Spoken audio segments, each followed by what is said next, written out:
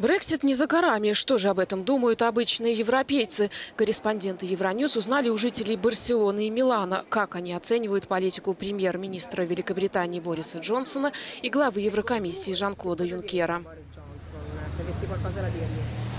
Sicuramente di Я бы попросил Бориса Джонсона обратить внимание на британскую молодежь.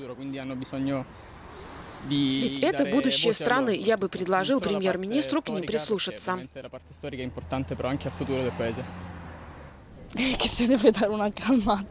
Я бы посоветовала ему успокоиться.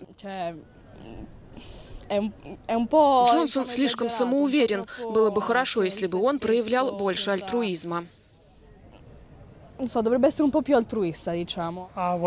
Я que бы no hay ничего не хотел ему сказать. Он очень упрямый человек, но я не согласен с тем, что Великобритания должна выйти из ЕС.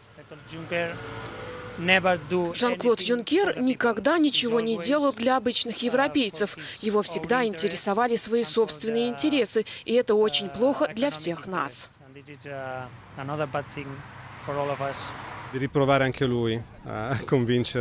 Я бы посоветовал Юнкеру еще раз попытаться убедить британцев пересмотреть свою позицию, а, основанную a только на их эгоизме. Великобритания должна смотреть в будущее и больше думать о долгосрочных планах.